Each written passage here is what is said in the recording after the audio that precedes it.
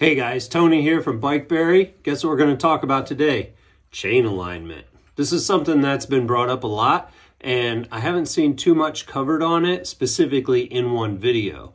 So I just got the Switz Cruz together with the rear wheel, the engine mounted on it, and then also the chain tensioner. So what we're going to do is we're going to go through, we're going to see what causes your chain to get misaligned. Let's roll.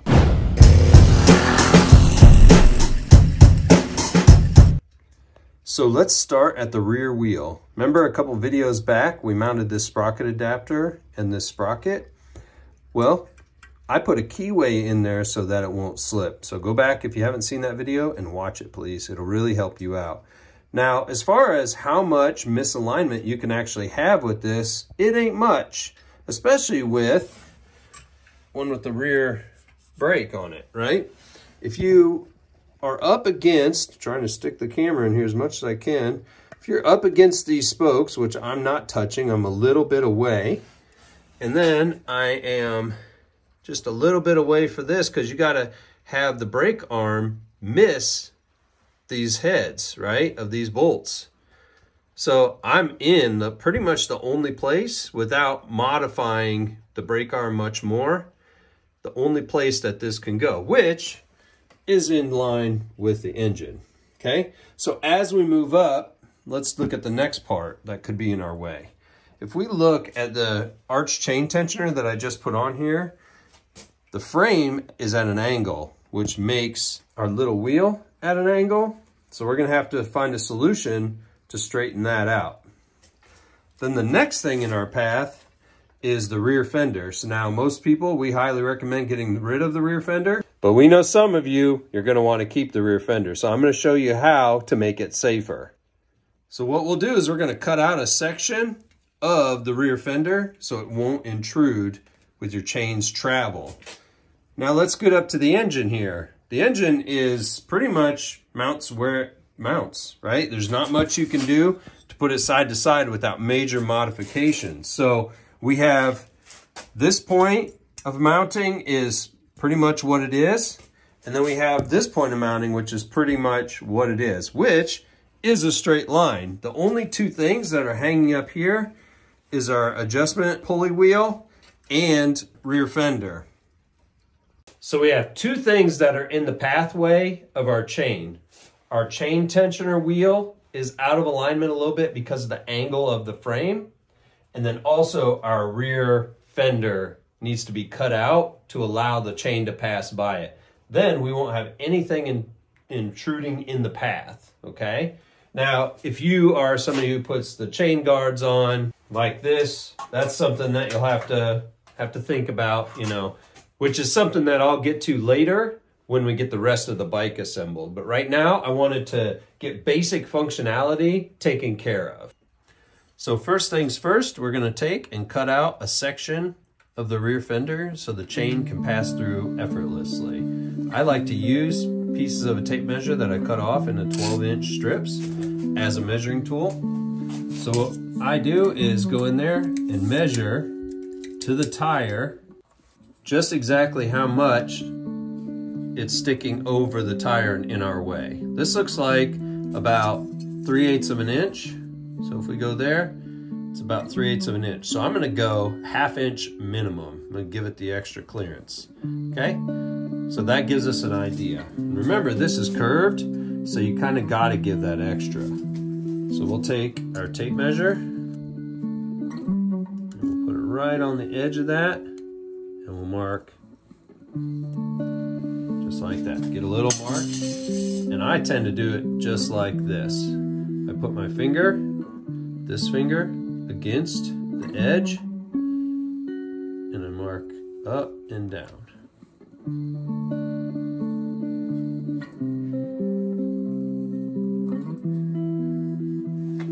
That kind of gives me a good starting point to where I can start mapping out the rest of it. So I want, because of chain slap and all this, and these chains uh, stretch when you first start using them, go like inch and a half above and inch and a half below. Okay, just like that. So that's a roughed in idea of where we're gonna cut out the fender. Now I like to do things nice. So I'm gonna angle this like that. Let's do this one, angle it like that. There. Gives us an idea of where we're gonna cut it out at. Now we take our snips, we go in at that angle. And here you can see I'm using the red angled ones. Those are left cutting.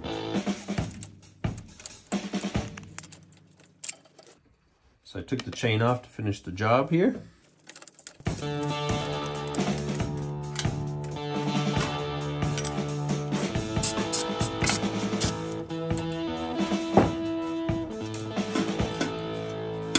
Now you can see that I used uh, tin snips because tin snips and I go way back. You can use a cutoff wheel on a Dremel or an angle grinder or something like that. But to be honest, tin snips just do the job for me. So what I'll do after I'm sure that the chain path is clear and everything is working well, I'll remove the fender and I'll make sure that all the you know burrs and sharp edges are knocked down on my sander. So you can do the same. Now that that's clear, let's put our chain back on. All right, so if we look from above, it's pretty straight. Looks pretty good. So overall, it looks really good and straight. Everything lines up really well. Next culprit that we have to deal with is this wheel. And I'm gonna show you a fix that I have in mind to make this correct. Now this is something that we're gonna work on because there's multiple fixes. So this is going to depend on what tools you have, what uh, skill level you're at, that kind of thing. But my first thought is taking this bolt and bending it just a little bit to make the chain lay straight. So because of the frame is angled, this chain tensioner wheel is angled a little bit.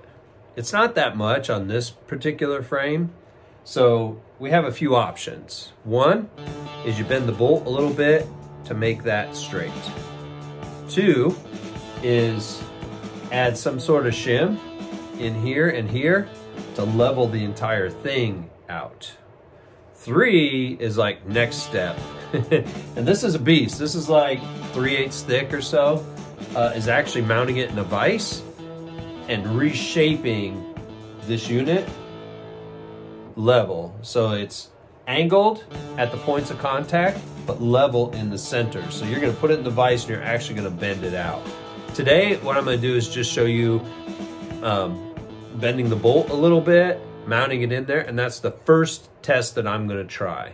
And then I'll come back with the video on how that test worked out. Up to this point, I've made my own, because I'm a fabricator type, I've made my own and I was able to compensate for these things. So, but when you're someone who's just buying pieces and parts and trying to assemble this stuff, because uh, you got to remember, none of this stuff is plug and play.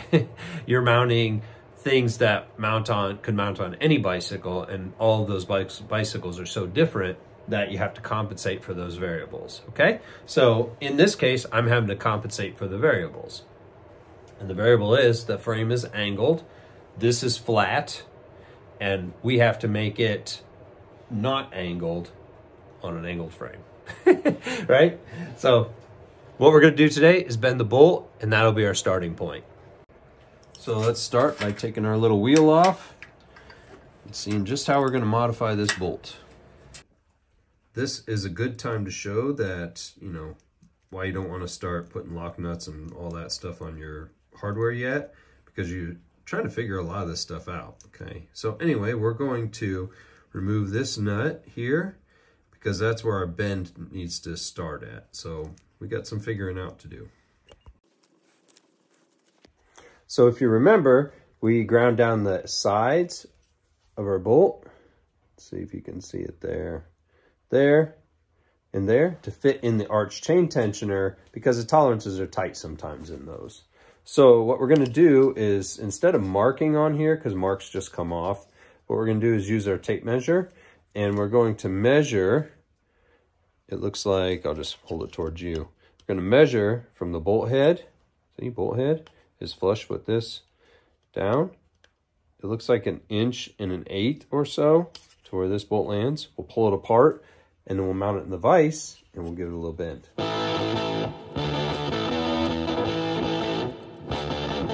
So what I've done is I've threaded a nut back onto the bolt and the inch and an eighth range. It'll be pretty good. We'll put it in the vise and we'll start bending.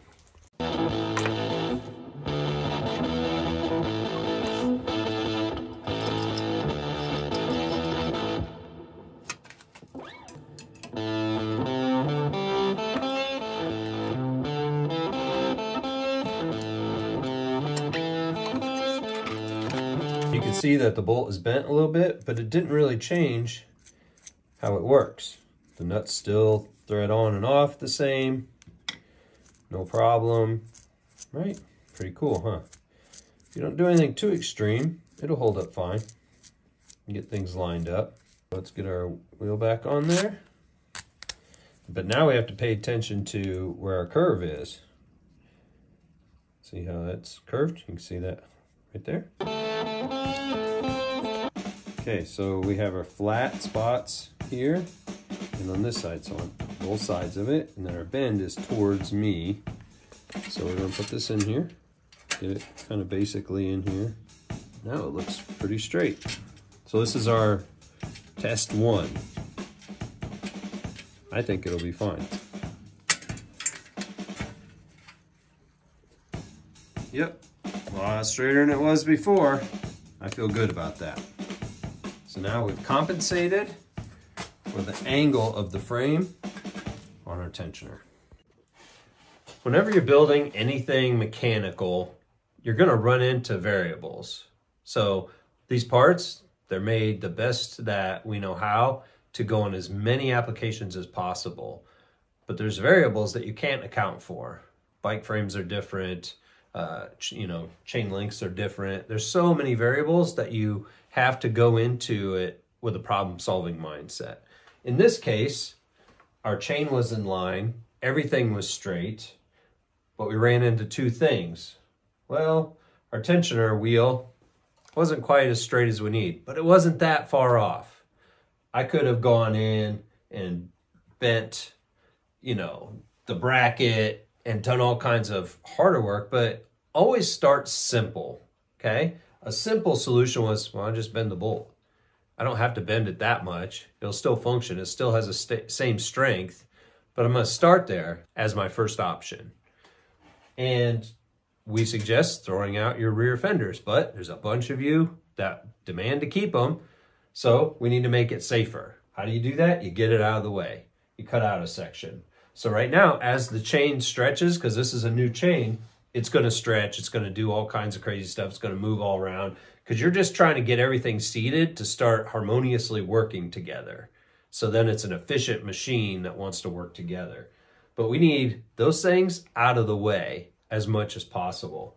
So coming up in our test videos, I'm going to get the rest of the bike assembled first but we'll have test videos where then I'm going to report back on all of these things that we've made as far as adjustments. Okay. Then that tells us, do we need to take it further or not? So go watch the last video of mounting the arch chain tensioner. It really goes, you know, first hand in hand with this video. Uh, so watch that, then watch this. You'll start to see the full width of how to problem solve.